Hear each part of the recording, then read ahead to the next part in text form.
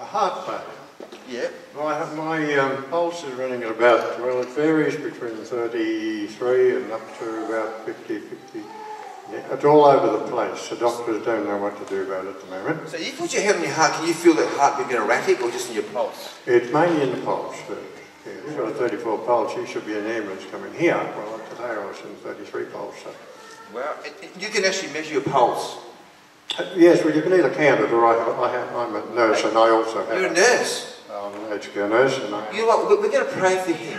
Yes. Let's believe the pulse will become Yes. normal. Now, Yes. now, what's normal pulse? Because because I'm a medical Oh. person, I'm just, I just see.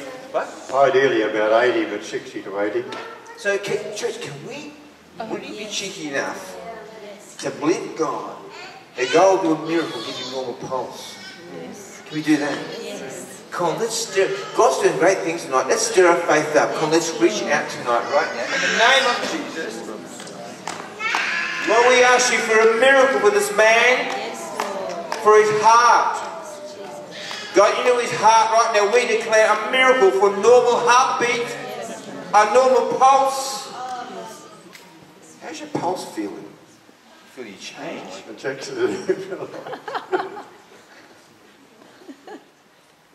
which is what it's been doing, but um, it's been uh, it's, it's quite regular, there, reasonably regular there at the moment. A little, var- a little variance there. Feel But any improvement at all? yes, if it stayed like that all the time, I think I'd be feeling pretty good. What a hand, everybody.